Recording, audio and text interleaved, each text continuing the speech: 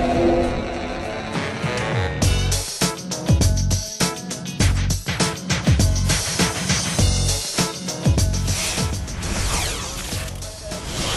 that was a good shot.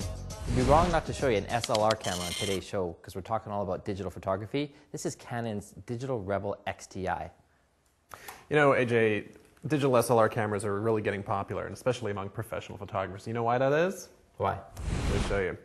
When you're talking about a compact digital camera, you have a very small sensor. So it's like looking at something through a window about that big. When you have a digital SLR camera, the window is that much bigger because of the larger sensor size. So you can look at something through a window that's, say, that big or much, much bigger. So you get much beautiful, much more information. Exactly. You can capture a much larger field of view. So, you know, with this camera particularly, Canon's got a long history of digital SLR cameras and film SLR cameras. So the EOS system in Canon allows you to interchange lenses between these cameras, both film and digital. If you've got a Canon EOS camera, you can use your lenses with their digital SLRs. Well, what's interesting about that is if you have a film camera, you can actually use your lenses that you've owned from before. They, they, they actually mount the same chassis. The only difference is the aspect ratio doesn't quite fit right. That's right, and that's because the sensor sizes are a little bit different between film and digital. But still, one of the things that's a kind of a pro and con about interchangeable lenses is when you take the lens off the camera, you can get dust inside there. Problem with that is it collects on your sensor, you end up getting dust in your photos, and it reduces the photographic quality of your prints.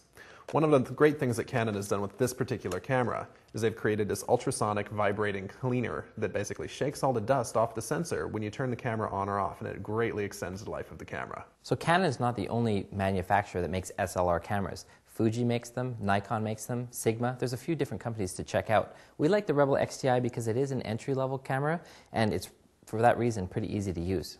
You're actually right. Uh, this is their entry level digital SLR. There are a lot of great features that make this camera really user friendly for the entry level digital SLR photographer. Number one, giant LCD screen on the back. This lets you check your settings as well as preview the photos you've taken, so it makes it really easy to go ahead and see what you've shot so far. The other thing is if you're used to compact digital cameras, you've got preset modes for taking various types of photos. Things like portrait mode, landscape mode, macro, and sports that let you just take great photos even if you don't know the difference between an f-stop and an ISO setting.